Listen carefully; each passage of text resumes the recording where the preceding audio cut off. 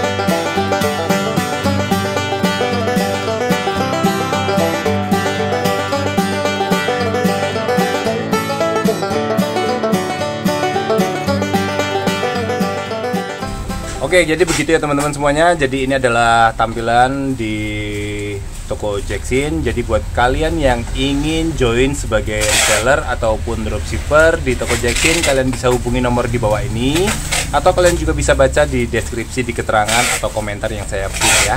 Cepetan join dan kami akan coba bantu teman-teman semuanya untuk menyediakan produk-produk dari kategori spray dan home decor untuk teman-teman jual di marketplace. Terima kasih dan sampai jumpa di video selanjutnya. See you.